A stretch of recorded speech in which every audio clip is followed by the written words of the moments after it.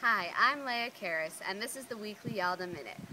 I'm here this week on a family trip in Florida, but the exciting news is that our September Tishrei issue is finished. It's at our proofreaders now, and it should be going to the printer next week.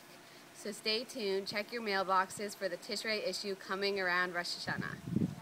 Thanks for joining me this week for the weekly Yaldah Minute. I'm Leah Karras, and remember, if you can dream it, you can do it. You're never too young to change the world.